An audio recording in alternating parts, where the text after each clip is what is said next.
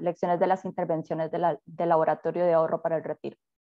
Este es un evento organizado por la Facultad de Economía de la Universidad de los Andes, el BID y el BID Lab, como parte de un seminario de políticas públicas.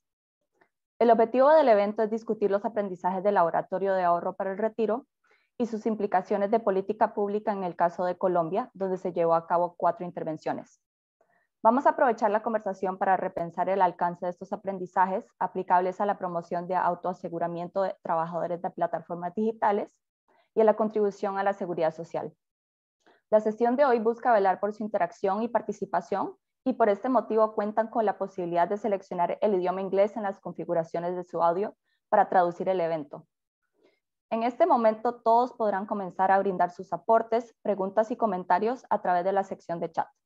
Así podremos integrar las preguntas a la conversación que tengamos más adelante. Además, en caso que tengan alguna duda o comentario hacia el equipo organizador, podrán conectarnos, contactarnos a través del chat. También a través del chat realizaremos algunas dinámicas para poder conocer su opinión y fomentar participación. A continuación le doy la palabra a Mariano Bosch, jefe interino de la División de Mercados Laborales del BID, quien nos dará unas palabras de bienvenida.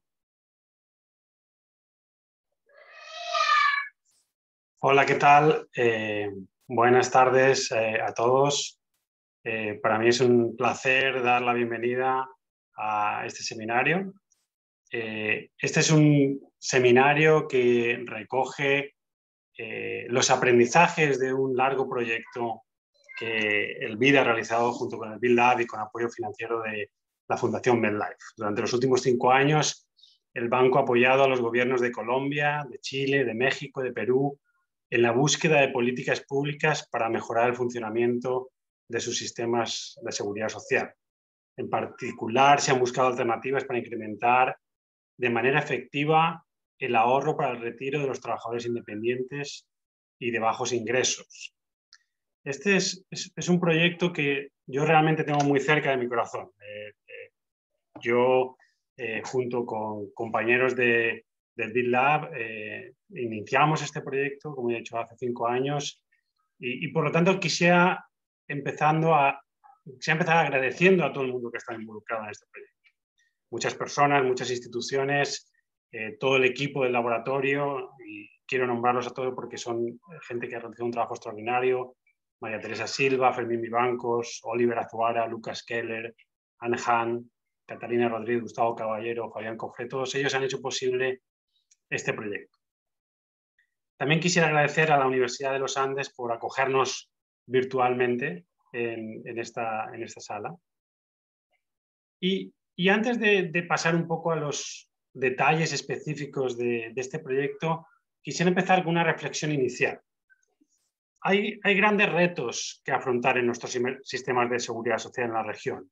Hay retos de cobertura, hay retos de sostenibilidad, hay retos de adecuación, de suficiencia en las pensiones. Pero sí, quizá uno de los retos que a mí me gustaría enfatizar es que nuestros sistemas de pensiones y en general nuestros sistemas de aseguramiento social dejan, a mucha gente atrás. Y, normalmente la gente que dejamos atrás son la gente que durante su vida laboral es más, es más vulnerable. Trabajadores por cuenta propia, trabajadores de bajos ingresos, trabajadores informales. Estos son los trabajadores más desprotegidos.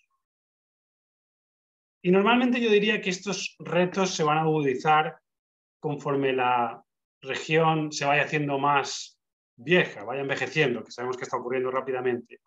Pero creo que la coyuntura actual nos hace que, tengamos que afrontar estos retos de manera mucho más imperiosa. La crisis que hoy estamos viviendo está afectando a estos colectivos que ya estaban particularmente desconectados de los sistemas de seguridad social son los trabajadores de más baja educación, los trabajadores por cuenta propia, los que, los que peor han sido eh, azotados por esta crisis. Ante estos grandes retos, creo que requerimos pensar de una forma creativa y, echar mano de todo un set de herramientas que nos ofrece la tecnología, que nos ofrecen las herramientas conductuales. Este proyecto en concreto del que queremos hablar hoy se enfoca en cómo las nuevas tecnologías y la economía conductual pueden ayudarnos a afrontar el reto de incluir a los desconectados. Las lecciones de este proyecto que, hoy vamos a discutir en profundidad son bastante claras. El proceso de proteger a la gente, el proceso que la gente ahorre para su retiro, debe ser lo más sencillo posible, lo más automático posible. En la práctica, el camino a ahorrar para el futuro tiene muchos obstáculos regulatorios, muchas limitaciones tecnológicas, muchas fallas de mercado que superar. Y todo ello muchas veces implica la, y dificulta la implementación de políticas escalables, efectivas, para todos los segmentos de la población. Pero este proyecto trae buenas noticias. Muchas de estas barreras las podemos solucionar. Y algo que sí que sabemos es que superar estas barreras requiere de un claro liderazgo institucional.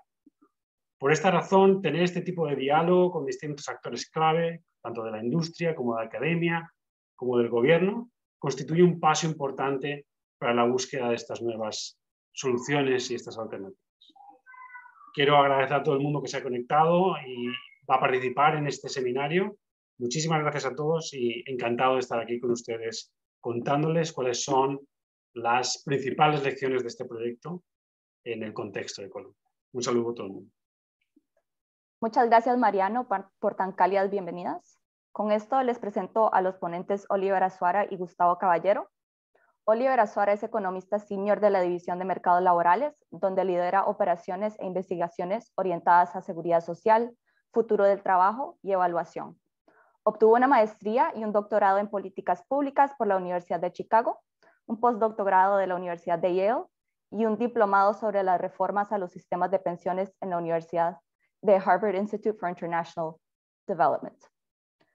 Gustavo Caballero es consultor de la División de Mercados Laborales, donde trabaja en el diseño y la evaluación de intervenciones basadas en la economía del comportamiento, buscando incrementar el ahorro previsional en poblaciones de bajos ingresos. Gustavo cuenta con un doctorado en economía de la Universidad de Calgary, con énfasis en economía pública y economía experimental y del comportamiento, y una licenciatura y maestría en economía de la Universidad de los Andes en Colombia. Y con eso le cedo la palabra a Oliver. Adelante, Oliver.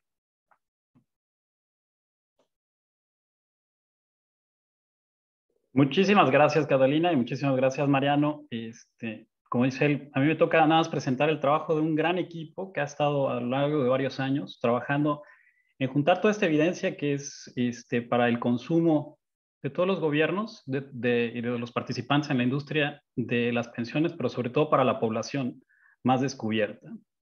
Déjenme comenzar con un punto eh, de la realidad. ¿no? menos de la mitad de los trabajadores de América Latina ahorran para el retiro. Y esto hará que en el contexto de este envejecimiento tan acelerado que observaremos durante los próximos 25 años, nos ponga en, un, en entredicho sobre cuáles son las políticas que debemos de, implementar para mejorar este, la situación, sobre todo de los más viejos. En el contexto latinoamericano, no solamente tenemos el problema de la informalidad, eh, más bien existe eh, todo este problema a lo largo de toda la distribución del ingreso, otros, unos, algunos países este, más, de manera más marcada. En el caso colombiano, vemos que si bien hay un, los trabajadores independientes cotizan eh, mucho, de, mucho mayor porcentaje que, que en otros países, vemos que aún sigue siendo una diferencia muy importante con respecto a los trabajadores asalariados. Es decir, los trabajadores independientes enfrentan una situación bastante compleja que tendrá consecuencias importantes, ¿no? Entonces, debido a que las reformas a los sistemas de pensiones y a la seguridad social son muy difíciles, el espacio que se abrió con el laboratorio de ahorro para el retiro fue comenzar a explorar cuáles eran las alternativas bajo las cuales podríamos empezar a trabajar con este conjunto de trabajadores, este, identificando qué, podemos hacer, cómo se puede conocer mejor el funcionamiento de la industria y de la toma de decisiones para lograr que estén mejor involucrados en, este, en los sistemas de pensiones propiamente. Y es así como utilizamos o se, se generó la idea del, del laboratorio de ahorro para el retiro, en donde la idea es identificar estas soluciones basadas en nuevas tecnologías y en economía del comportamiento. ¿no? Es decir, ideas que en el pasado no fueron, eh, no eran posible implementarse debido a las restricciones que había para poder llevarlas a cabo, hoy en día es factible hacerlo dado que existen los avances tecnológicos para que muchos colectivos que antes estaban lejos o sus actividades estaban lejos de, algún tipo de contribución pudieran ser incorporadas a, la economía formal. ¿no? Es así como que es posible o podemos empezar a generar la evidencia suficiente para lograr una, seguridad social del siglo XXI.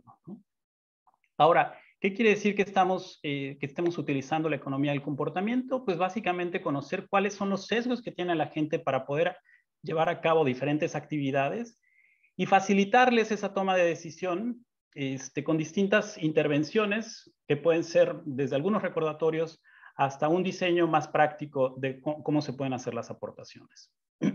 Es decir, el laboratorio es una iniciativa que tiene como punto más importante la tolerancia al error. Es decir, en general, los gobiernos y multilaterales tenemos esta este, necesidad de dar resultados bien y pronto, y es decir, no hay muy, hay muy poca tolerancia a los errores. Sin embargo, este, este laboratorio está hecho con la escala que tiene, identificar cómo es que se pueden ir mejorando y darle soluciones específicas a los gobiernos y a la industria para tratar de llegar a más personas.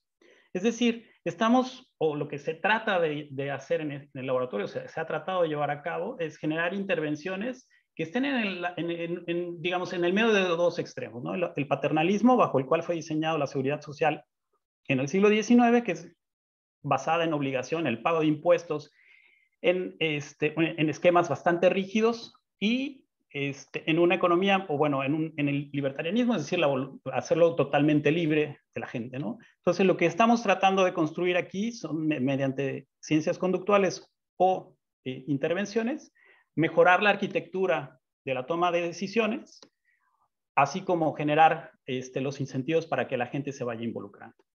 Es decir, ¿y, qué queremos decir específicamente con eso? Esto se materializa en recordatorios, en mensajes, en recordatorios, estos empujoncitos para que la gente esté recordando la importancia de llevar a cabo este tipo de actividades o eh, ahorrar para su retiro. La decisión activa o débitos automáticos, la simplificación y acceso para que tengan, este, para que puedan eh, llevar a cabo estos ahorros, así como la educación financiera con la cual ellos, la gente podamos tomar mejores, mejores decisiones, ¿no?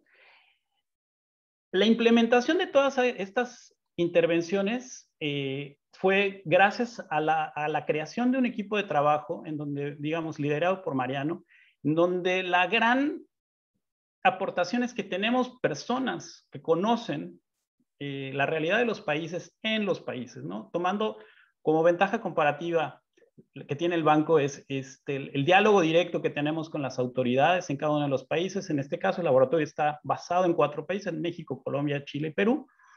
Y la aportación más rica es que podemos conocer las necesidades o conocemos, este, digamos, los costos de aprendizaje son mucho menores y la implementación de, los distintos pilotos fue, se facilitó por ello.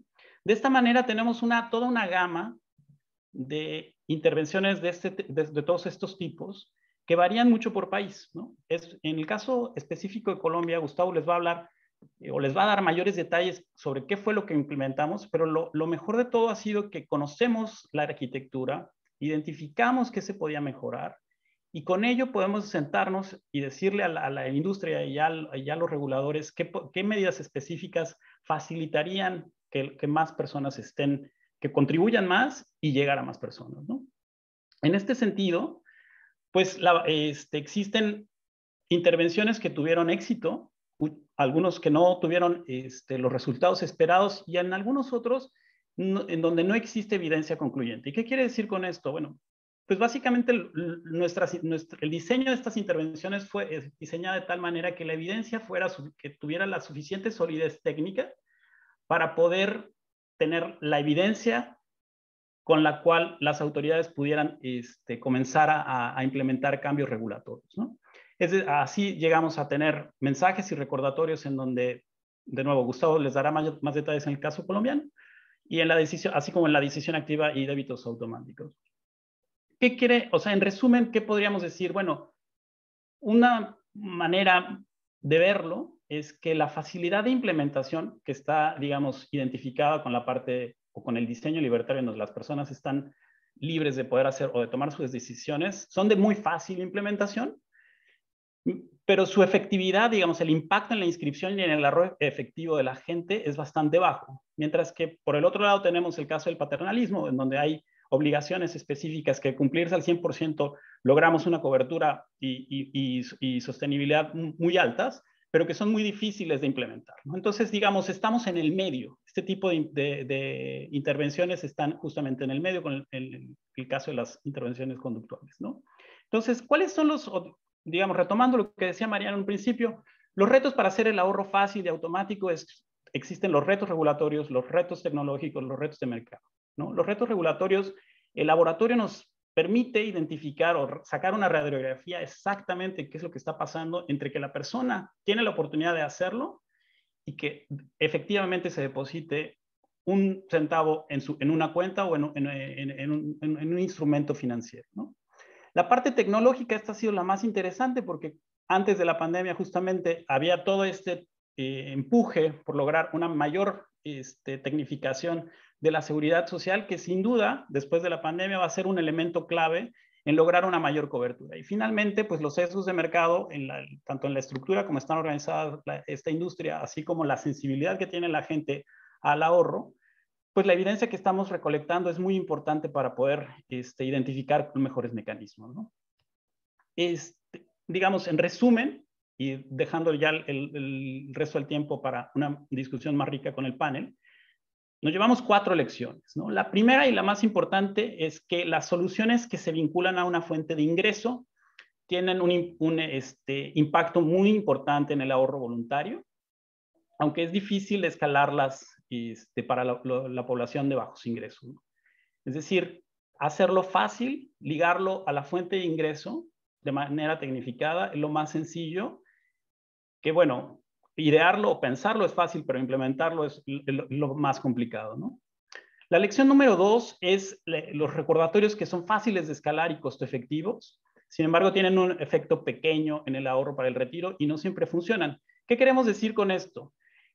Es importante acompañar en el ahorro voluntario, es importante acompañar a los trabajadores para que sigan o tengan estas metas de ahorro y podamos, digamos, elevar el, monto necesario para, eh, digamos, el monto que se necesita para poder tener una pensión suficiente.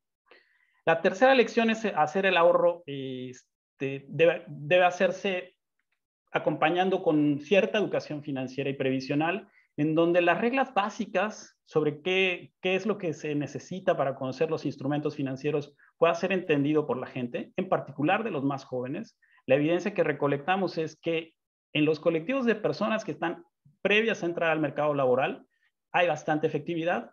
Y finalmente, este, es necesario tener un liderazgo institucional este, que permita superar todas las barreras regulatorias, técnicas y las fallas de mercado. Es decir, debe de existir un, lo que se llama un champion en, dentro de eh, la industria y del gobierno para que estas soluciones puedan implementarse y los cambios que se vayan recolectando permitan este, una mejor, un mejor diseño institucional.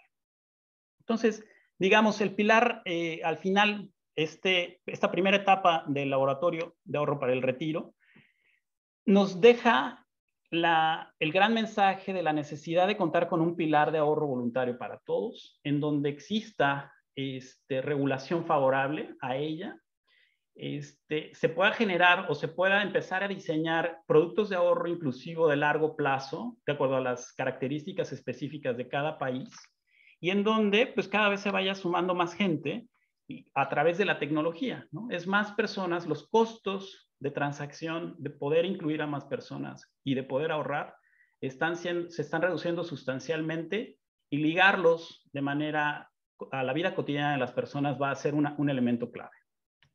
Sin más, antes de comenzar la, presentación de Gustavo, en donde va a dar los detalles de las intervenciones en Colombia, les vamos a, pedir su participación en una pequeña encuesta que hemos diseñado para identificar cuáles son los cuáles creen ustedes que sean los sesgos más importantes en, este, en el mercado colombiano. Muchísimas gracias.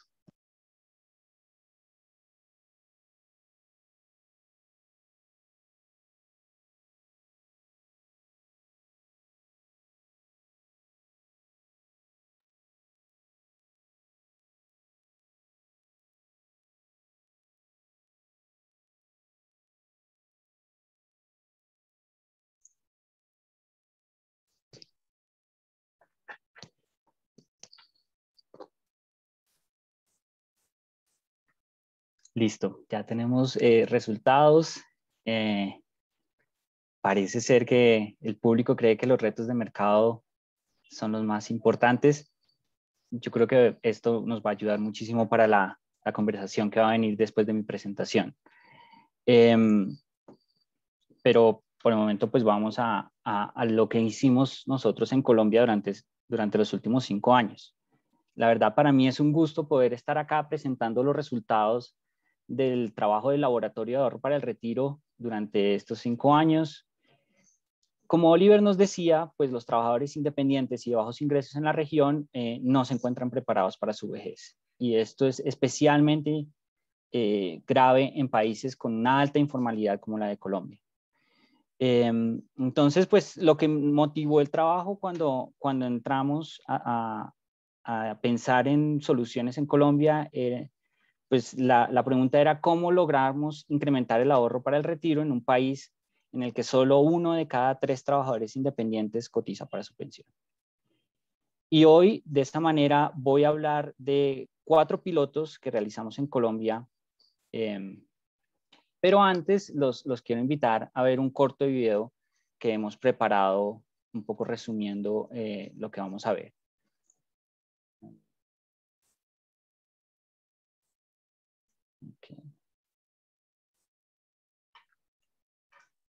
Ahorrar para el retiro es indispensable para una región que está envejeciendo rápidamente. Entonces, ¿cómo hacer más fácil el ahorro? ¿Cómo conseguir que más personas se preocupen por vivir una vejez digna en el futuro? Durante los últimos cinco años, el Laboratorio de Ahorro para el Retiro del Banco Interamericano de Desarrollo ha probado nuevas fórmulas basadas en la tecnología y la psicología para promover un ahorro sin barreras en países como Colombia. Con el apoyo de nuestros socios, llevamos a cabo pilotos como el envío de mensajes de texto, correos electrónicos y llamadas telefónicas para incentivar el ahorro. Y también trabajamos en simplificar el estado de cuenta del sistema de pensiones. Ahora bien, ¿qué hemos aprendido de esta experiencia? Primero, que es más fácil que las personas ahorren voluntariamente si vinculan su ahorro a una fuente de ingreso. Segundo, que el envío de recordatorios es sencillo y poco costoso, aunque su impacto es pequeño. Tercero, que facilitar el ahorro no será posible si no se acompaña de una mejor educación financiera y previsional. Y cuarto, que para hacer el ahorro más fácil se necesita el liderazgo de las instituciones para superar las barreras tecnológicas y regulatorias. En Colombia, donde solo uno de cada tres trabajadores independientes cotiza para su pensión, es posible hacer más fácil el ahorro. Sin embargo, para lograr avances sustanciales, queda por delante un camino lleno de desafíos. ¿Quieres saber más sobre este tema? Visita la web del Laboratorio de Ahorro para el Retiro e infórmate.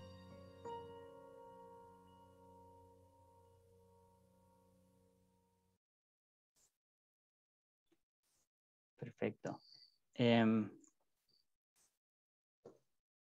bueno, ciertamente ha sido posible hacer más fácil el ahorro. En, Colombia llevamos a cabo tres, pilotos utilizando mensajes de texto y uno que combina elementos de simplificación y educación financiera. En tres de estos pilotos encontramos efectos significativos y positivos en el nivel de ahorro o, el conocimiento del sistema, mientras que pues, eh, uno de ellos sí probó ser inefectivo.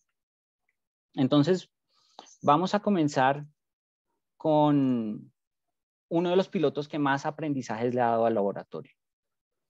Y este es en el que nosotros enviamos mensajes de texto a, las personas vinculadas a BEPS. BEPS, para aquellos que no lo conocen, es un programa de ahorro voluntario para el retiro administrado por Colpensiones, enfocado en personas de bajos ingresos que provee flexibilidad en la frecuencia del ahorro y los montos ahorrados. Cuando nosotros llegamos en 2017, aproximadamente uno de cada cuatro de los vinculados habían ahorrado una vez y de esos solo uno de cada cinco lo hacía de manera constante.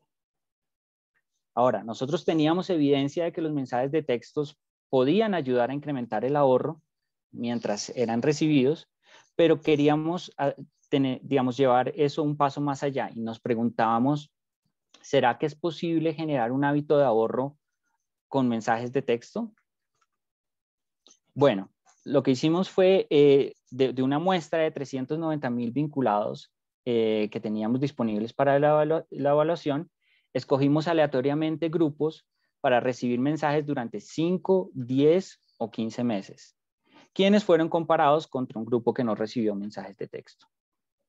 Llevamos a cabo lo que se llama una prueba controlada aleatorizada ágil, es decir, una prueba que tenía evaluaciones parciales de resultados para realizar ajustes entre etapas, eh, lo que resultó en una primera etapa en la que estábamos enviando mensajes con el fin de contrarrestar barreras psicológicas que impedían el ahorro y posteriormente eh, dos etapas en la que los mensajes consistían en metas sugeridas de ahorro.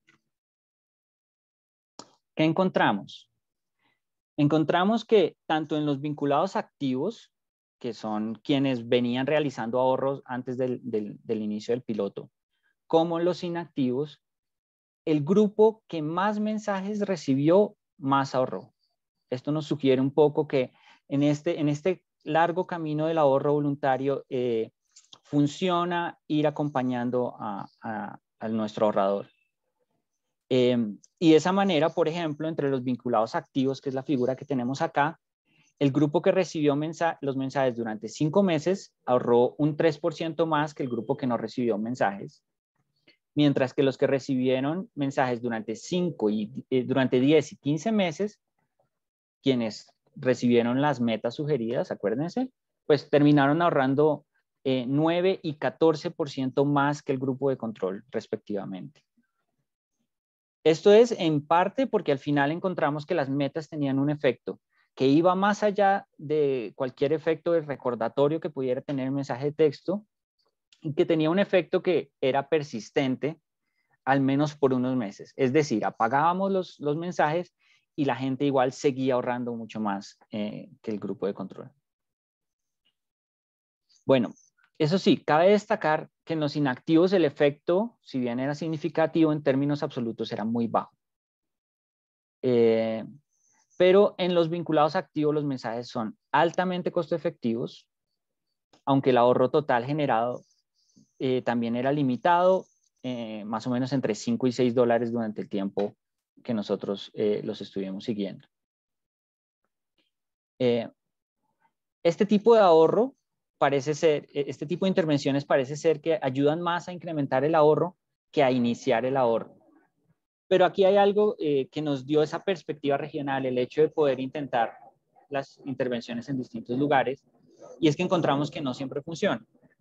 Eh, en, en, la página del laboratorio pueden encontrar los detalles de una intervención muy similar a la que hicimos en Colombia con los afiliados a BEPS, eh, en el que encontramos ningún efecto significativo en México. Ok. Ahora miremos el segundo piloto que llevamos a cabo con, los vinculados a BEPS. En esta ocasión nos preguntábamos de cuál podría ser la utilidad que, eh, que podía tener el análisis de datos masivos o Big Data, como se conoce eh, coloquialmente, para incrementar el ahorro voluntario. Y en particular pensamos eh, que una primera aplicación era utilizar estas técnicas para seleccionar a quienes tenían un mayor potencial de ahorro eh, en los que se concentraría una campaña de llamadas que en otro caso, digamos, sería muy costosa para ser utilizada en el público en general, digamos, en la totalidad de vinculados. Eh, 12.000 vinculados, 6.000 activos y 6.000 reactivos fueron seleccionados aleatoriamente para el tratamiento y los que fueron seleccionados por la metodología Big Data recibieron llamadas. Encontramos que en los vinculados activos el grupo de tratamiento tiene una probabilidad de realizar un aporte en un mes cualquiera 14% más alta. Ahorraron casi 10% más por mes que el grupo de control y en total el tratamiento generó 1.6 dólares de ahorro por cada dólar invertido. Por otro lado, en, en, aquellos inactivos en los que no venían ahorrando antes, el tratamiento no generó ahorro de manera significativa. Entonces, un poco reforzando lo que fuimos encontrando también en los mensajes de texto. El tercer piloto eh, ya fue con una población ligeramente distinta, trabajamos de la mano con protección eh, para buscar una manera de incentivar el ahorro de los trabajadores independientes, eh, ya no necesariamente todos ellos de bajos ingresos, de hecho el hecho de que estuvieran afiliados a un fondo de pensiones de alguna forma nos decía que tenían unos ingresos ligeramente más altos. Eh, probamos dos estrategias de correos electrónicos. Una primera la denominamos ahorro común, eh, informaba sobre el número de personas con características similares al afiliado que recibía el correo, que estaban ya fuera cotizando cuando el mensaje iba eh, enfocado en personas que no estaban haciendo sus cotizaciones o el número de personas que estaba haciendo aportes voluntarios cuando les escribíamos a los que estaban haciendo aportes obligatorios. La segunda estrategia que llamábamos de comparación social, eh, básicamente los, los invitaba a reflexionar sobre las diferencias que se espera surjan en el largo plazo, eh, por un lado entre los que cotizan y los que no, entonces, la diferencia es que algunos se van a pensionar y van a tener ese ingreso ya cuando sean adultos mayores. Eh, y por el otro lado, una diferencia que puede surgir entre los que cotizan sobre un porcentaje de sus ingresos, que esto es una opción y, es la que toman la mayoría de trabajadores independientes en Colombia, y quienes cotizan sobre la totalidad de sus ingresos. Eh, de aproximadamente 110 mil afiliados que fueron seleccionados para el piloto, unos 75 mil recibieron estos correos electrónicos. Eh, en este piloto en particular, desafortunadamente encontramos eh, eh, o no logramos encontrar un efecto significativo ni en la probabilidad de ahorrar ni en los montos ahorrados. ok. Y y el cuarto piloto es una de esas posibilidades que, surgen en, la colaboración que se dan con algunas entidades. En este caso, digamos, eh, hablando con Colpensiones, ellos nos expresaban eh, su deseo de poder mejorar la, comunicación con sus afiliados. Y, en particular, entonces vimos una oportunidad en, los estados de cuenta del régimen de prima media. Entonces, lo que hicimos fue que rediseñamos el nuevo estado de cuenta de Colpensiones, buscando tres acciones concretas que eran las que la quería la entidad de parte de sus afiliados. Primero, que revisaran el total de periodos cotizados al sistema. Segundo, ya que este extracto se enfocaba en el último año, que cotejaran los aportes realizados durante este año. Eh, la verdad, quien tiene la mejor información de cómo deben estar, cómo deben ser sus cotizaciones es el mismo afiliado. Y el tercero, que también eh, han, ha mostrado ser muy importante para, las entidades es que eh, comprueben los datos personales y además de eso, digamos, con algunas instrucciones en caso de que las personas encontraran inconsistencias o en sus datos personales o, en todos los otros datos de cotizaciones. Eh, hicimos unas encuestas telefónicas para medir el impacto del rediseño, además de unos análisis complementarios en datos administrativos eh, y hicimos el piloto con 40.000 afiliados al RPM. Utilizamos cinco principios guía en este rediseño, eh, simplificábamos el, lenguaje, eh, buscábamos siempre limitar el contenido, muchas veces menos es más, dividíamos la información en segmentos, utilizábamos un lenguaje positivo y motivador y finalmente relacionado con el objetivo 3, incluir instrucciones. Entonces, en términos concretos, ¿cómo se veía nuestra intervención?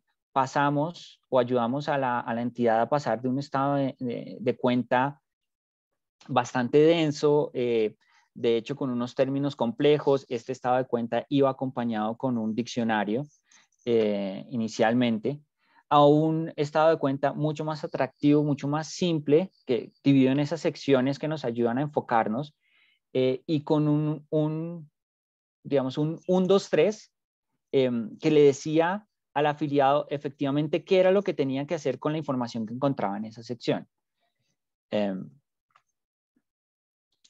encontramos que, por ejemplo, la probabilidad de encontrar información sobre el número de semanas de cotización que le falta al afiliado incrementó de una manera significativa y la verdad muy considerable.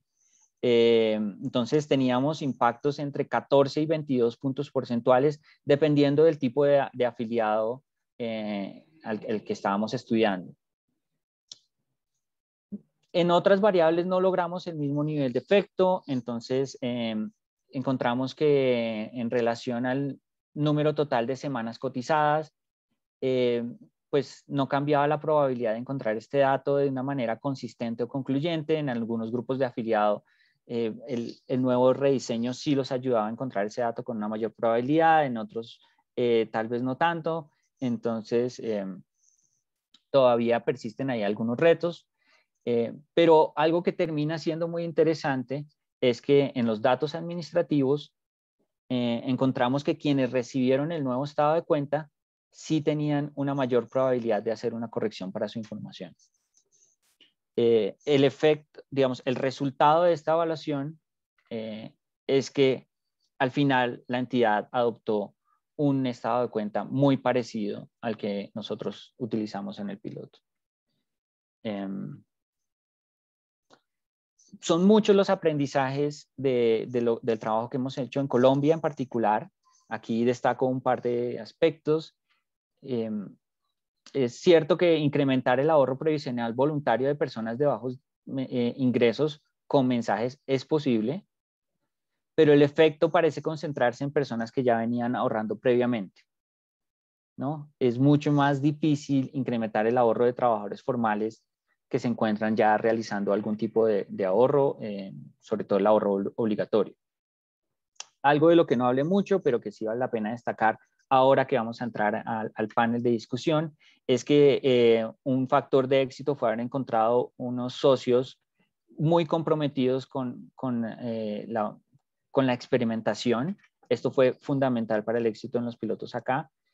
Y, y, es, algo que también es muy importante ya mirando hacia adelante y algo que siempre estamos eh, esperando. Eh, entonces ya con esto concluyo los resultados de Colombia. Muchísimas gracias eh, y creo que ya seguimos al panel. Muchas gracias Oliver y Gustavo por presentar los aprendizajes del laboratorio. Queda muy claro que a pesar de las lecciones aprendidas, todavía tenemos un largo camino por recorrer para disminuir las barreras que dificultan el ahorro en Colombia. Así que con eso, a continuación, tendremos un panel de políticas públicas que está integrado por expertos de la industria y de la academia en Colombia. Ellos darán su perspectiva sobre el tema. Los voy a presentar a continuación. Primero que todo, tenemos a, em, Alice Gutiérrez Stanley. Ella es directora de negocio de ahorro para el retiro de Sura Asset Management, donde trabaja desde hace 12 años. Ella trabaja con los seis países donde opera la compañía, Colombia, México, El Salvador, Chile, Uruguay y Perú. Alice cuenta con una maestría investigativa en administración y varios programas a nivel latinoamericano y europeo relacionados con pensiones, como el Global Pensions Program del London School of Economics. También tenemos a Juan Miguel Villa. Él es el presidente de Colpensiones desde 2018. Es economista y máster en economía de la Universidad Javeriana y doctor en políticas y gestión del desarrollo de la Universidad de Manchester en el Reino Unido. Tercero tenemos a Óscar Becerra, es economista de la Universidad Nacional de Colombia, con magíster en matemática aplicada de la misma universidad y doctorado en economía de la Universidad de British Columbia. Desde 2016, Óscar se encuentra vinculado a la Facultad de Economía de la Universidad de los Andes como profesor asistente en la que trabaja temas de economía laboral, economía pública y desarrollo, desarrollo económico. Y por último, tenemos a Luz Magdalena Salas, es profesor asistente del Departamento de Economía de la Universidad Javeriana. Es economista de la Universidad de los Andes y cuenta con un doctorado en economía de City University of New York. Sus proyectos de investigación incluyen el diseño e implementación de intervenciones a gran escala que buscan modificar el comportamiento de los hogares de bajos recursos para aumentar su capacidad financiera. Los invitamos a continuar, por favor, escribiendo sus preguntas en el chat para que podamos tener una discusión más adelante. Eh, este panel será moderado por Oliver Azuara, así que con eso le, cedo la palabra. Adelante, Oliver. Muchísimas gracias, Catalina, muchísimas gracias también, Gustavo. Este, mire, tenemos preparadas unas preguntas este, y queríamos comenzar con, con Alice sobre, bueno, Alice ha estado involucrada desde un principio en, en, este, en el laboratorio, conoce la iniciativa, entonces sería muy interesante conocer ¿Qué opinas? ¿Cuál es el mejor aporte que ha dado? Este, ¿Qué otras alternativas crees que valdría la pena seguir eh, probando a través del laboratorio que nos permita tener una mayor conexión del sistema con los trabajadores independientes y bajos ingresos. Y si quieres, déjame, em, te, te, listo otra pregunta más que tenemos y, este, y empezamos una conversación. ¿Cuáles crees que, que puedan ser, o son las barreras más relevantes este, importantes que se deben de atender? De acuerdo, o sea, teníamos una, una este, la respuesta por, bueno, por parte de nuestro auditorio. Entonces, eh, si nos pudieras este, participar y decir qué, qué crees tú que, que, es la mayor aportación del, lado. Adelante. Bueno, gracias, Oliver, y buenas tardes a todos. Eh, yo creo que mencionabas al inicio de la presentación, lo más valioso que yo creo que el Laboratorio de Ahorro para el Retiro le ha entregado a la política pública, no solo en Colombia, sino en los demás países, es ese espacio de experimentación, esa capacidad de generar, de generar pilotos, prueba y error donde hay un componente conductual, cultural bien importante. Eh, recordemos que pues, estos temas del ahorro siempre ha estado o se han posado sobre, en muchos casos, racionalidad económica. Y los individuos, aparentemente muchos, en algún momento pensamos pues, que tenían toda la capacidad racional para decir, eh, no me compro este bolso que tanto me gusta, sino este dinero para mi vejez o para un propósito en particular. Y creo que eso, pues, con los múltiples hallazgos de la economía conductual de los últimos 10, 15, 20 años, eso, pues, en este momento nos está, está dejando una evidencia clara y es no es así.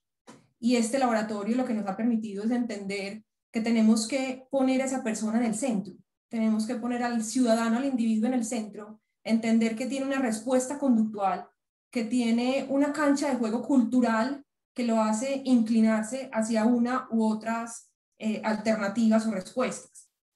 En ese sentido, creo que, eh, y, que tú marcaste en la presentación y, sobre las cuales ha trabajado el laboratorio, eh, acerca de la comunicación clara, de la cercanía que hay que tener y la constancia en cercanía que hay que tener con las personas es supremamente importante, sobre todo considerando que pues, muy posiblemente en Latinoamérica pues todavía tenemos que hacer eh, unos avances importantes en, en, términos de educación financiera, previsional, inclusive hasta en educación y competencias matemáticas de una temprana edad. Entonces, esa cercanía y esa conexión con el individuo creo que es un, es un tema que hay que seguir profundizando, que hay que seguir trabajando. Eh, también entender que podríamos conectarnos a través del consumo, ¿cierto? No esperar que voluntariamente las personas de bajos ingresos lleguen a, a, pues a declarar que quieren ahorrar, sino encontrar espacios donde les demos la oportunidad de, de, hacerlo.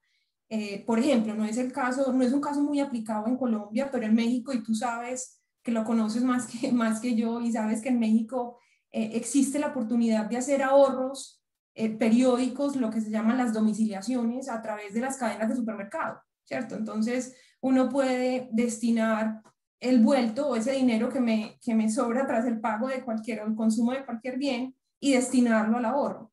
Si bien son montos pequeños, pues van generando un hábito en la población, ¿cierto? Algunos de nuestros espectadores hacían preguntas en el chat sobre, sobre eh, qué estoy haciendo con ese dinero. ¿Será que están dejando de consumir? ¿Están dejando de ahorrar en uno para ahorrar en otro?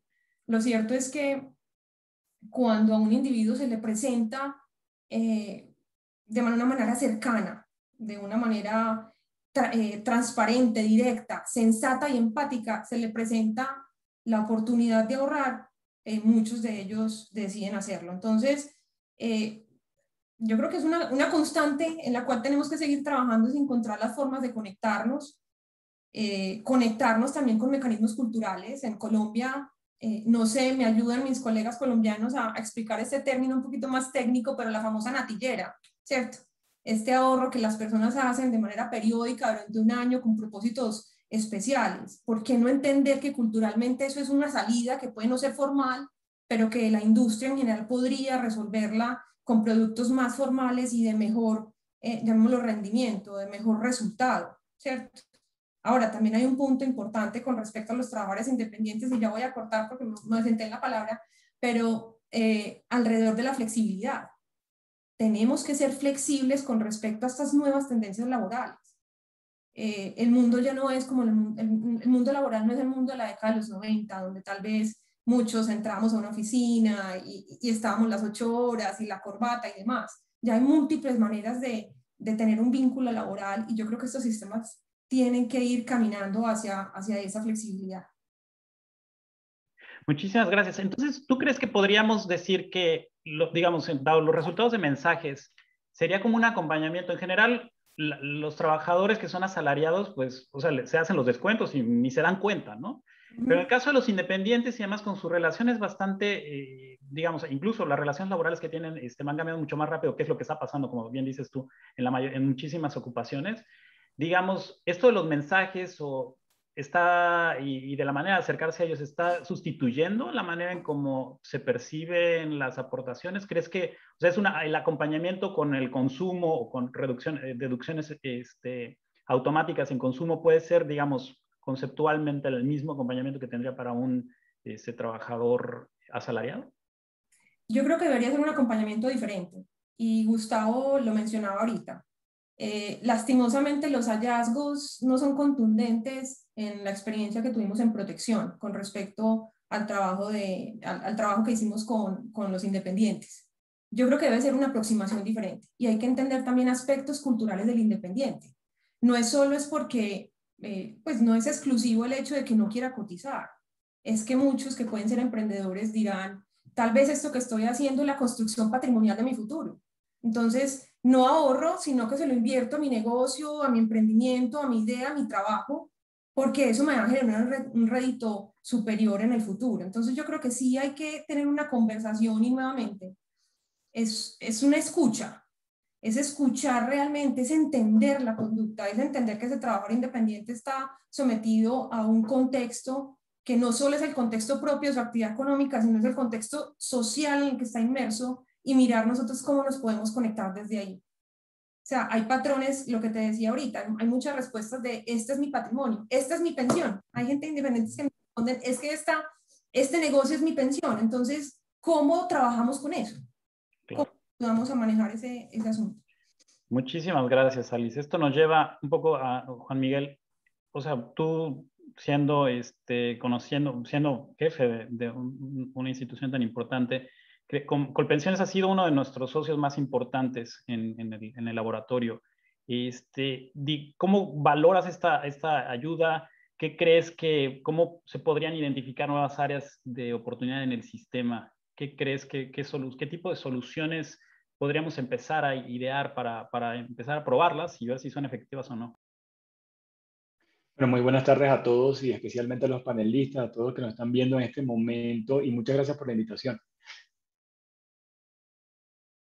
Con respecto a lo que, a, a Oliver, hay, hay, varias cosas que mencionar y especialmente lo que se ha hecho con el laboratorio, las cuatro eh, experimentaciones que se hicieron en Colpensiones pues, ayudaron muchísimo, especialmente pues, abrir los ojos en varios aspectos, pero eh, sobre todo porque se esperaba que al principio, cuando inició este programa de ahorro voluntario de trabajadores de bajos ingresos, los BEPS, de Colpensiones, pues se esperaba que iban a tener una promoción o con una entrega de información simple, pues ya la motivación suficiente y todo lo que necesitaban para poder iniciarse y ser constantes en el ahorro. Y eso no era así. Eh, encontramos pues muchísimas luces de cuál era el camino a seguir para poderle seguir impulsando a todos estos trabajadores para que eh, de una manera muy costo, efectiva pudieran seguir pues eh, recibiendo pues sobre todo los recordatorios de, del ahorro y frente a los diferentes esquemas de, de, economía de comportamiento de poner una meta o de poner una o de tener simplemente recordatorio eh, para el ahorro, pues fue, fue de mucha utilidad. Pero sobre todo, yo quiero rescatar una cosa y es que eso sembró una semilla eh, en esta entidad. Es la única entidad en Colombia encargada eh, de este ahorro voluntario para trabajadores de bajos ingresos. Colpensiones es el único administrador, administrador de los BEPS.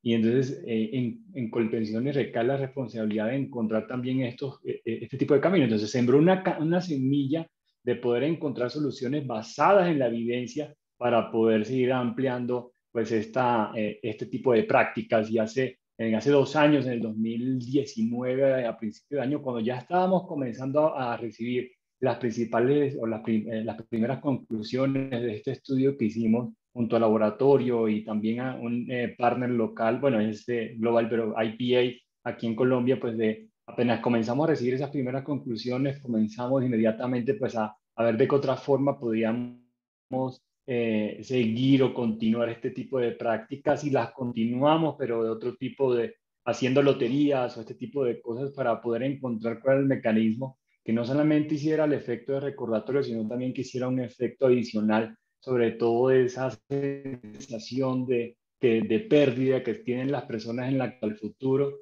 eh, y, poder subsanar un poco esa, e, e, ese vacío. Y por eso continuamos haciéndolo, pero eh, es muy, muy relevante.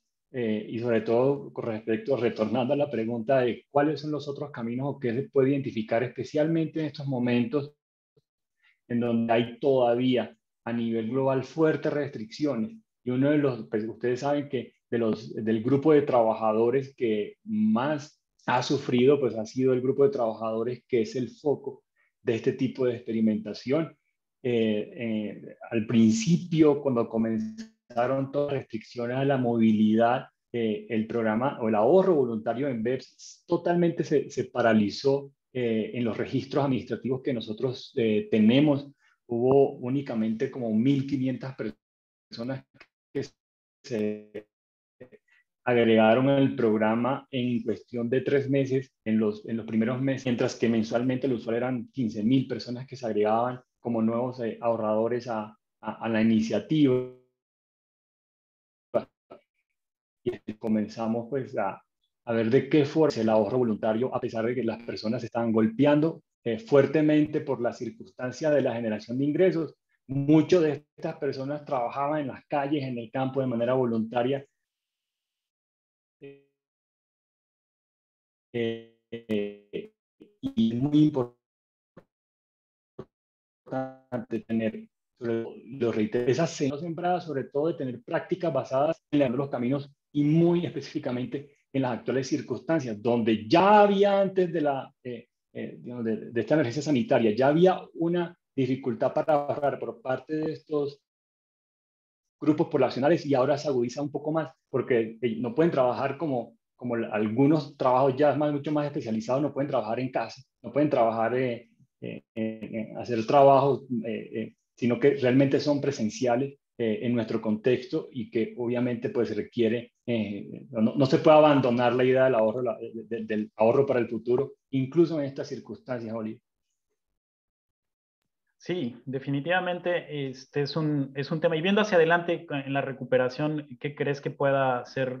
¿Cómo ves a Colpensiones hacia adelante? ¿Crees que valga, o sea, valdría comenzar la recuperación de, este, del ahorro, ¿habría alguna manera de hacerlo, este, digamos, más sencillo?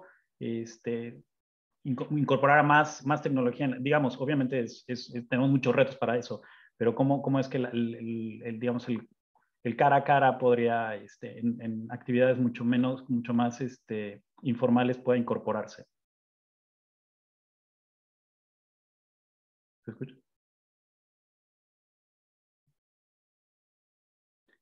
Creo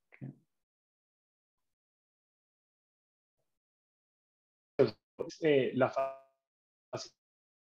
facilidades que de la parte administrativa se puedan dar para...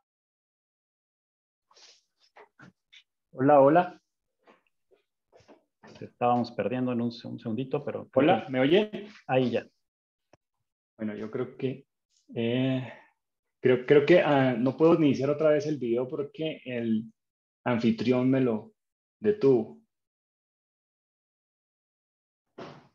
Si quienes este, eh, terminar tu intervención, creo que había un... Vale, no, miren, el, en, esencia, eh, es decir, que hay dos, dos aspectos. Uno, la parte administrativa que podemos poner al servicio de todos nuestros ciudadanos y el servicio al ciudadano pues, de manera no presencial, mucho más eh, pues, virtual, eh, eso por una parte, pero lo otro es el acceso que tienen estos grupos poblacionales también a las tecnologías y sobre todo a, los teléfonos inteligentes o al, incluso comenzando por el propio eh, Internet. Y ahí es donde se tiene que dar pues una, eh, pues, un matrimonio. Por decir, nosotros hemos simplificado y hemos trabajado de la parte administrativa eh, para lograr esa simplificación, ya sobre todo con el nuevo reto que comenzó, esto es lo que, que, también hace parte de los BEPS, que es este nuevo piso de protección social. No se requiere ningún tipo de interacción, ningún tipo de papeleo o de documentación por parte de quienes participan en el programa, sino que simplemente con, una, eh, con, la primera transacción que ellos hacen, inmediatamente quedan vinculados pues, a este mecanismo. Es decir, no, eh, hemos tratado de simplificar, no, que no traigan documentos, que no firmen, que no traigan ni siquiera una copia de su identificación, nada de eso. Simplemente, pues, las personas estamos, estamos haciendo un esfuerzo enorme a nivel tecnológico para, eh, sobre todo lo que ustedes han mencionado, mantener la simplicidad en la gestión de, la atención al ciudadano. Yo creo que es muy clave porque no podemos, aparte de la decisión de ahorrar para trabajadores o para personas de bajos ingresos, ya es difícil, no podemos crear costos de transacciones adicionales que puedan incluir, eh, incluso ser barreras para poder, poder lograr ese objetivo. Excelente, muchísimas gracias Juan Miguel. Esto nos lleva también este, con el trabajo que tú has desarrollado, Oscar. Este, ¿Qué tan importante crees que se deba llevar a cabo este tipo de intervenciones para avanzar en, hacia un sistema de aseguramiento universal de la vejez? ¿no? La votación fue barreras eh, de mercado, que era, la, digamos, la principal, pero ¿qué, ¿qué, tan importante crees que estas intervenciones ayudan a avanzar en, pues, en tener este aseguramiento que no se ha observado, ¿no? Cuando se diseñó la seguridad social pensábamos que íbamos a tener convergencia universal en, unas, en unos cuantos años y pasaron las décadas y no sucedió. Sí, Sí, no, definitivamente este tipo de eh, intervenciones son muy, muy importantes porque tenemos que ajustarnos a la realidad de Latinoamérica. Nuestros países eh, se enfrentan a una situación que es cruda y dura y es que la mayoría de la mayoría de personas van a llegar a la edad de retiro o un porcentaje muy importante, dependiendo del país, las cifras van a cambiar, pero eh, un porcentaje muy importante de personas van a llegar a la edad de retiro e incluso trabajando, e incluso aportando al sistema, no van a llegar a aportar lo suficiente para garantizar una pensión contributiva. Entonces, nos quedan dos opciones. y, y, yo le añadiría esa, a esa discusión que no solamente no es una pensión contributiva, sino incluso si reciben una pensión contributiva, no necesariamente garantiza eh, un nivel de consumo muy similar al que tenían antes de, su, antes de llegar a, la edad de retiro. Con, con, con esa realidad en mente, lo que nos queda es que si bien el sistema de pensiones contributivo es necesario, no es suficiente. Y si no es suficiente, entonces necesitamos buscar alternativas para ayudar a empujar eh, ese aseguramiento para el retiro por parte de, los agentes una respuesta bastante activa. Y, en, y, ahí es donde creo que las intervenciones de, este estilo son donde tienen un papel más fundamental. Y es cómo hacemos para atraer a estos, a impulsar más el ahorro y la participación activa de los, de los individuos en, eh, en, en estos esquemas de ahorro de largo plazo. Y pues en particular, y aquí hablando de la experiencia colombiana, Colombia tiene aproximadamente 45% de trabajadores eh, trabajan como cuenta propia o independientes. De ellos, un porcentaje, eh, un porcentaje solo aproximadamente 15% de ese 45%, o sea, 15 puntos porcentuales de ese 45, una tercera parte contribuye al, al sistema de pensiones. ¿Y qué hacemos con el resto? Entonces, ahí es donde, ahí es donde tenemos que, ver la importancia de, iniciativas como las del ahorro para el retiro y, ver cómo, lo, cómo, logran, cómo se logra enganchar más a las personas. ese es el primer aspecto fundamental y, en la práctica y viendo ya las, evaluaciones de, las intervenciones que han hecho, eh, considero que hay otros dos aspectos muy importantes para, para destacar. El primero que la estrategia del laboratorio tiene algo muy positivo y es que muestra la importancia de la economía del comportamiento aplicada. La economía del comportamiento no es solo lo que desarrollamos en, el laboratorio, en, la academia y los ejercicios sencillos que hacemos con estudiantes. Eso se puede extender de manera muy eh, personalizada, incluso a, través de llamadas, a través de mensajes a una población que, que se puede ver beneficiada con, esas, eh, con, este tipo de medidas y con este eh, tipo de intervenciones. Entonces, nosotros como humanos nos enfrentamos a una serie de sesgos, a una serie de trabas, a una serie de eh, malinterpretaciones de la información o nos, nos, sentimos abrumados con la información y no podemos lograr asimilar toda la información si no la logramos organizar de manera estructurada. Y este tipo de intervenciones destacan la importancia de esto. Y ahí viene el segundo punto, y es que en, una vez se hacen las intervenciones eh, con esta estructura de ensayo y error y estructura muy focalizada, uno se empieza a dar cuenta que hay algunas cosas que funcionan y hay otras cosas que no. Y hay algunas cosas que podríamos en principio pensar que eran muy importantes y resulta que no lo eran tan así. Eh, una que me dejó bastante impresionado en las evaluaciones de Colombia y que va a ser un reto de aquí en adelante es que definitivamente eh, impulsar al, al, ahorrador que ya está ahorrando es más fácil que impulsar a la persona que no está ahorrando a que ahorre. Y en ese punto es donde quizás el, el, el laboratorio todavía me parece que podría impulsar un poco más, pensar en nuevas intervenciones que vayan en esas dimensiones. Eso me lleva, sin duda, yo creo que ahí es el, digamos, el brinco que tienes que dar, ¿no? Porque claramente estás mostrando quiénes tienen los sesgos y quiénes se comportan y quiénes piensan en el futuro y que nada más necesitan una pequeña ayuda, mientras que los que esconden el futuro más este, fuertemente no lo, no lo hacen. pero, digamos, en, el, la parte de tecnología, ¿qué crees que tú crees que valga la pena pensar en, este, soluciones este, para el cobro de contribuciones a la seguridad social, pago de impuestos y demás.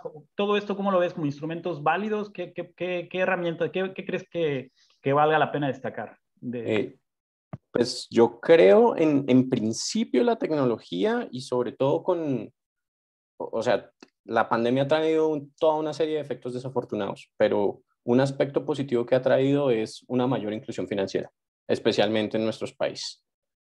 Y esto nos lleva a tratar de, eh, a, nos invita a repensar un poco cómo podríamos plantear los cobros de seguridad social para una población que no necesariamente está totalmente apegada a un sector formal, a una oficina de 9 a 5 y que tiene que hacer todos sus reportes de impuestos cada día. Entonces, eh, digamos que en esa línea eh, yo estaba pensando en tres puntos específicos. El, el primero, que claramente es controversial, aplica para todos, no solamente para las personas de bajos ingresos, eh, pero es pensar en contribuciones atadas al gasto. O sea, algo muy similar a lo que, a lo que eh, se pensó, eh, mencionaban al, al, principio Alice, de que el cambio que recibimos en el supermercado lo pudiéramos dejar en nuestra cuenta de ahorro individual. Nosotros tenemos una serie de gastos pequeñitos que regularmente no le prestamos mucha atención, pero si de todos esos gastos pequeñitos vamos aportando un poquito a nuestra cuenta de ahorro individual y en este caso sería voluntaria. Entonces, por ejemplo, en, la infraestructura colombiana podría ser una cuenta BEPS. Eh, y esto nos podría llevar a empezar no tanto a generar un ahorro suficiente para, financiar nuestra, nuestra vejez, pero sí a desarrollar el hábito de ahorro, que nuevamente volviendo a la, a, la discusión de, eh, a, la discusión anterior, eh, nuevamente es más fácil eh, incentivar a un ahorrador que convertirlo en un ahorrador. Entonces, si podemos hacer algún tipo de cuestión por default, donde las personas, ahora que se está utilizando más la billetera electrónica, aproximadamente en Colombia al final de 2020 había 15 millones de personas que estaban haciendo pagos a través de estos mecanismos eso podría ser eh, una forma, o a través de tarjeta de crédito también se podría, eh, podría ser una forma efectiva de aprovechar ya la plataforma tecnológica para empezar a implementar este tipo de medidas. La segunda eh, es, finalmente el Estado está desarrollando una serie de medidas de transferencias condicionadas hacia toda la población y están llegando mucho a través de estas nuevas tecnologías de cuentas de bajo costo.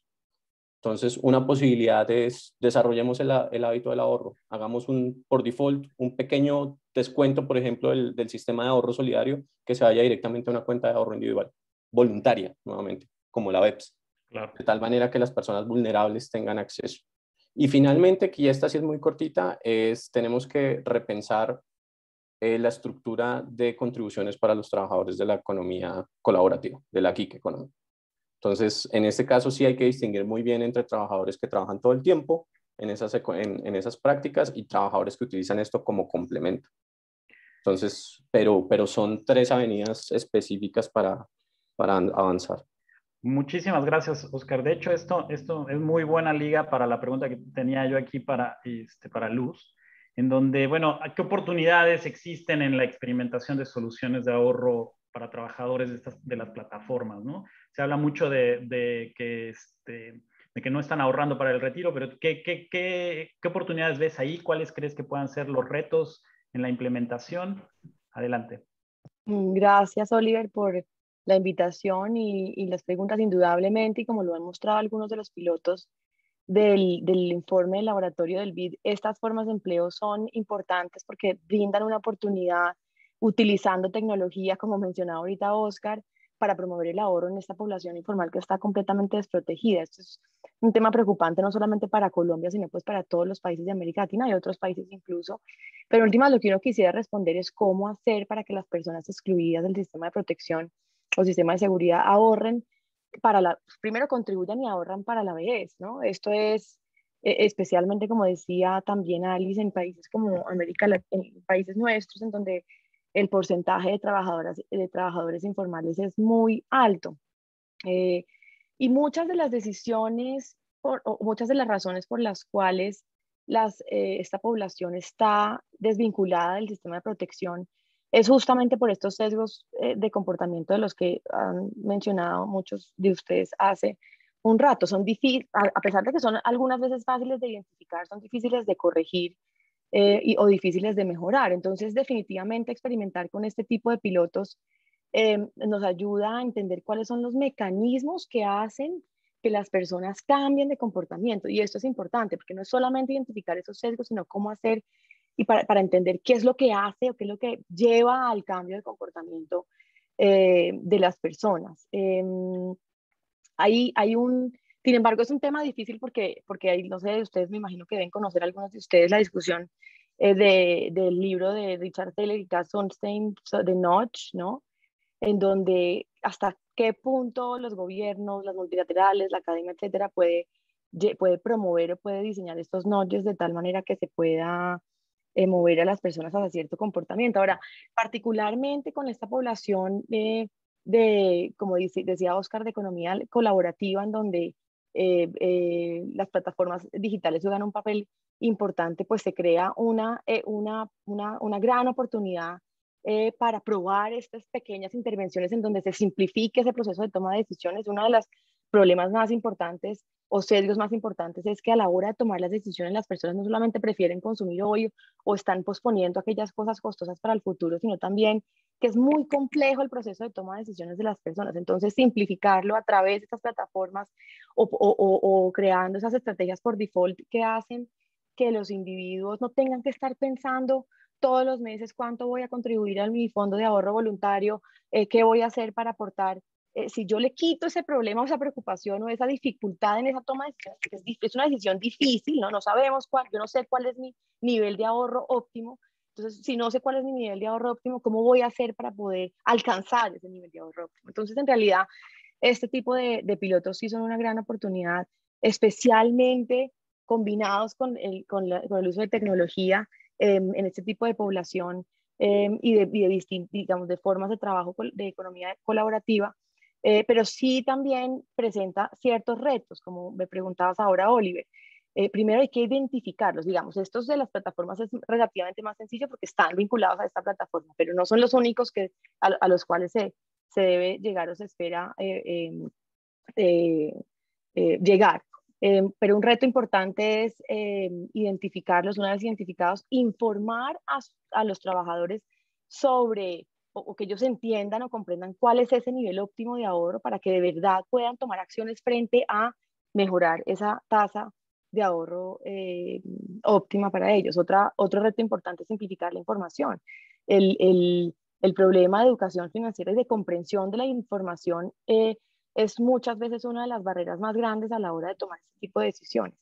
Eh, otro de los retos importantes que yo tenía acá es, son, es el marco regulatorio. Por más de que los académicos, los policy makers, los multilaterales, identifiquemos las, las, sesgos de comportamiento, seamos supremamente innovadores y creativos en crear productos supremamente innovadores que lleven a las personas a ahorrar más. Muchas veces, y me ha pasado en mi experiencia trabajando aquí en Colombia, muchas veces las, las, restricciones regulatorias hacen que no se puedan implementar estas estrategias o estos nodges como nosotros consideramos o como se llega a un acuerdo entre los, los implementadores y los, y los, y los policy makers porque, porque el sistema es tan rígido que no se permite entregar la información o, o, no tiene, digamos, la flexibilidad suficiente para poder, las normas o las reglas no son suficientemente flexibles para poder llevar a cabo estas, estas intervenciones. Es decir, ese marco regulatorio se debería ajustar orientándose hacia mejorar esas fallas de mercado de las que tanto estaban hablando ahorita en la encuesta que hiciste.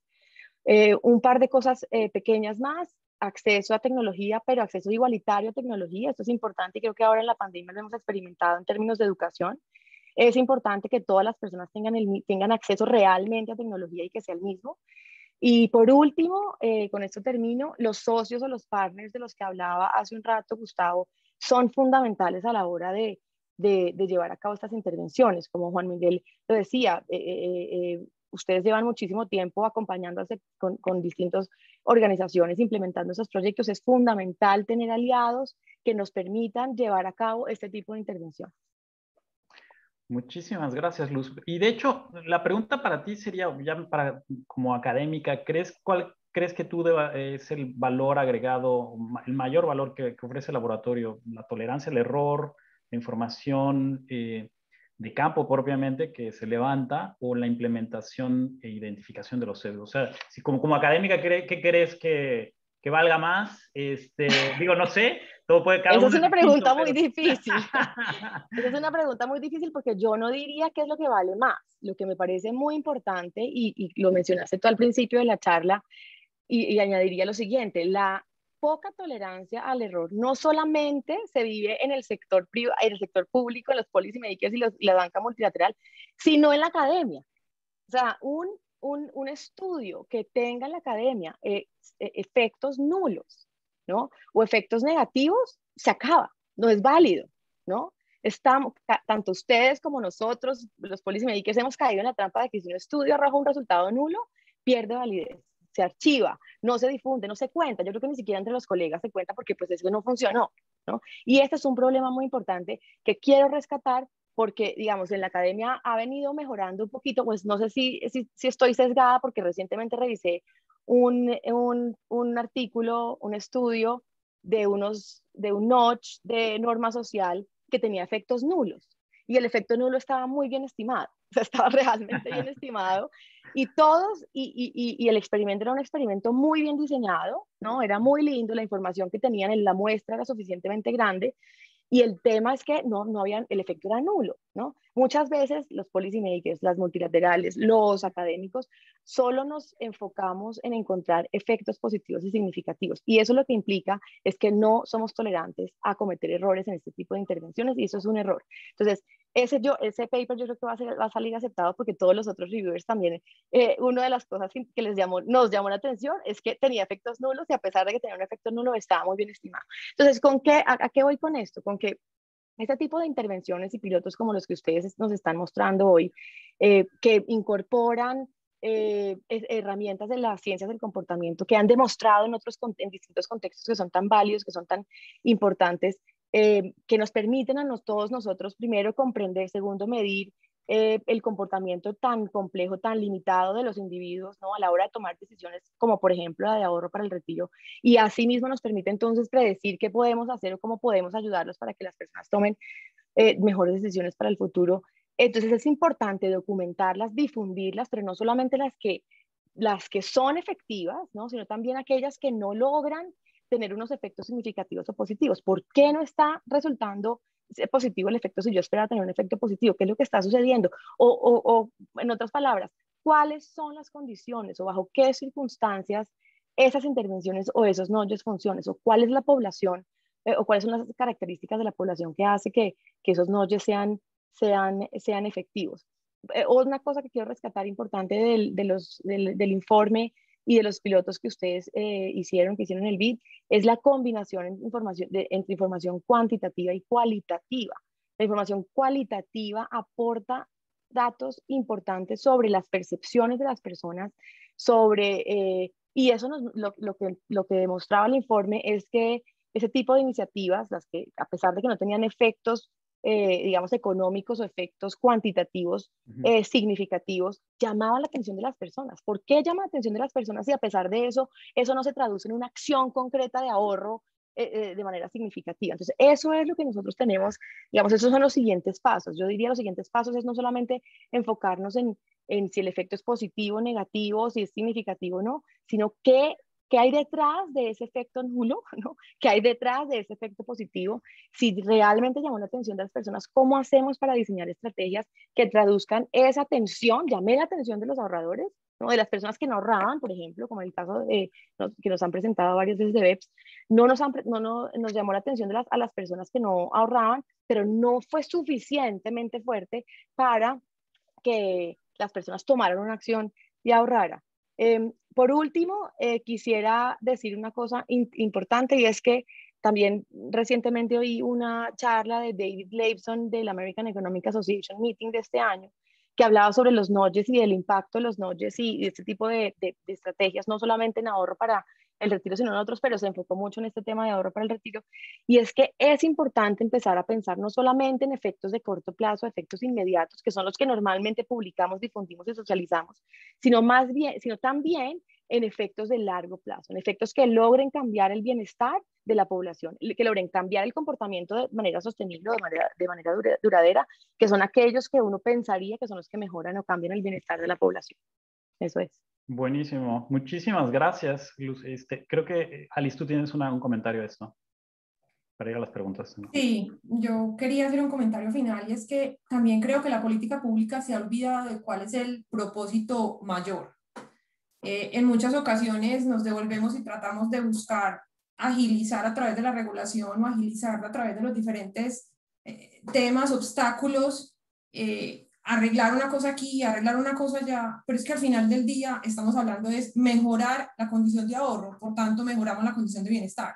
Y Oscar lo mencionaba ahorita, es que, es que hablar de ahorro no es hablar de un sistema pensional, no es hablar de un, de un sector financiero. Hablar de ahorro o hablar de pensiones es un contrato social ampliado. Y cuando yo hablo de un contrato social ampliado es que son varios los actores que tienen que intervenir en la construcción de ese resultado. Y hay veces nos olvidamos o pensamos que es exclusivo de solos y por tanto, pues la tarea es gigantesca frente al ejercicio que hay que realizar. Entonces, yo creo que aquí hay un llamado, incluso trato de recordar la experiencia del inicio de la banca digital en Colombia y el inicio de la banca digital en Colombia más que desde una, desde una mentalidad de restricción regulatoria, llamémoslo así, había una mentalidad de esto se requiere. Por tanto, hoy lo, lo demuestro ese, esa, ese requerimiento y lo que decía Luz, con datos hechos quanti quali, voy y demuestro y el regulador finalmente o, o, o, quien está marcando e, esta cancha regulatoria me nos responde y dice, no, espera un momento, entonces yo le doy un waiver o le abro un espacio para que usted pueda eh, iniciar, iniciar lo que en su momento fue la banca digital. Entonces, yo creo que nosotros tenemos que retornar a ese, a ese reto común, que finalmente es bienestar para las personas. En este caso estamos hablando desde la medida, desde la, de la perspectiva del ahorro, pero sí considerar que en ningún momento hablar de ahorro es, es, es único y exclusivo de ciertos sectores o actores, sino que compete a otros como mercado laboral, educación. O sea, hay una infinidad de actores que están allí que sí deberían hacer parte de ese contrato. Sí, totalmente. O sea, digamos, es la necesidad de un nuevo contrato que, que esté más de acuerdo a la, a, las, a la realidad latinoamericana, es, es evidente, ¿no? Es, es, este, y la, la, pandemia lo está mostrando. Tenemos algunas preguntas, tenemos tres minutos antes de, de, darle la palabra a Fermín para concluir, pero este, esta pregunta es, hay varias y, y vamos a tratar de eh, resumirlas. En un escenario en que la renta fija no está teniendo un comportamiento favorable de cara al cliente, resultado de, que la mayoría de los ahorros voluntarios conservadores son conservadores en renta fija, ¿cuál debería de ser la postura a tomar? Les doy tres y si quieren, el, que le guste contestarla. Los estudios cuentan con análisis diferenciales en personas que habitan en zonas urbanas rurales. Este, eso, si quieren, lo, podemos ver en el, en el estudio. Eh, ¿Qué esperar de, las actores de las AFP con el decreto 1207 de septiembre de 2020 ante un mayor número de competidores en el mercado? Si quieren, lo dejamos en esas dos. Y, por cierto, en el, en, el chat, ahorita les vamos a poner las, este, la publicación, la liga, la publicación, para que ustedes puedan, este, toda la audiencia la pueda, la pueda visitar. No sé si alguno quisiera contestar. Y si no, pasamos con Fermín. Yo quisiera solamente dar un comentario relacionado con algunas de las preguntas y es el tema de mm, la heterogeneidad en la población. Eh, y, de, pronto está relacionada con la pregunta de Claudia Collazos de que se debería tener en cuenta en esos pilotos eh, la ruralidad con enfoque de género, bueno, etcétera. Sí, es fundamental y yo creo que también va ligado a lo que decía Alice al final, y es aquí se necesita un trabajo eh, conjunto entre distintas organizaciones que tengan el, el, objetivo común, que tengamos el objetivo común, no solamente public policy, sino o sea, policy makers ni, multilaterales, sino los académicos, los, el sector el privado, por supuesto, em, que, que, va, que, que, con ese objetivo común se logre responder a, a digamos, a, o, o, se logre eh, mejorar el bienestar de la población, teniendo en cuenta esa heterogeneidad en la población, ya sea por género, ya sea por tipo de estatus laboral, ya sea eh, por lugar de residencia, edad, etc. Yo creo que eso sí es una de las cosas importantes que también este tipo de intervenciones nos ayuda a responder. Totalmente, ¿no? Y eh, el papel de la mujer en el mercado laboral ha cambiado radicalmente en los últimos años y esto es la necesidad de repensar también las, las, las fórmulas de la seguridad social. Sin duda ha sido una plática que podríamos mantener por dos horas más, pero llegamos al final y le doy, doy la palabra a Fermín Vivanco para tener algunas conclusiones. De nuevo, muchísimas gracias este, al panel, panel de lujo, y pues seguimos conversando sobre, sobre el futuro. Gracias.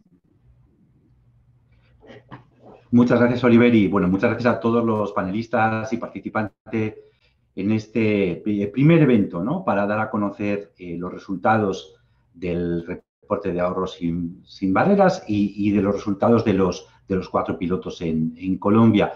imposible resumir, ¿no? Todas las aportaciones, creo que hemos aprendido sobre la importancia y las dificultades ¿no? que encontramos para desarrollar no solamente productos, ¿no? sino también estrategias de negocios para movilizar ahorro para el retiro y la importancia también del, trabajo coordinado eh, de los diferentes actores en el ecosistema, ¿no? del, sector privado, los reguladores y, las diferentes ventanillas del banco que también han participado en, el programa. ¿no? en em, el evento, o sea, claramente hemos sido testigos de la importancia bueno, de, entidades como Colpensiones, ¿no? con el programa BEPS y de las acciones también de los, de los administradores de, de, fondos, de pensiones, y que, son esenciales, eh, este trabajo de los actores para una búsqueda de, soluciones. Eh, yo trabajo en el BitLab, es parte del BIT, em, y desde el BitLab nos enfocamos en innovación con impacto, ¿no? Pero quizá por eso mismo es tan importante el trabajo del laboratorio para el retiro, porque eh, la innovación no viene sin experimentación, sin tolerancia al riesgo, y, eso ha sido clave durante estos cinco años Em, para, poder desarrollar eh, evidencia eh, concluyente. Em, la meta de alcanzar impacto solo es posible cuando la evidencia la traducimos en acciones específicas. Cuando los actores quedan convencidos y, adoptan esas, e, esas acciones específicas, esas estrategias de negocio, eh, esos aprendizajes y al final los beneficiarios pueden ser los ciudadanos, ¿no? Eh, los, futuros ahorradores. Como decíamos, aquellos que eh, puedan pasar de no ahorrar o de ahorrar informalmente a ahorrar formalmente, incluso en un administrador, ¿no? Y de manera, además, voluntaria. por eso, justamente, es súper relevante el, el, trabajo del laboratorio de ahorro para el retiro. Hay que enfatizar, y eso lo quiero decir, que esto no es un trabajo terminado, ¿no?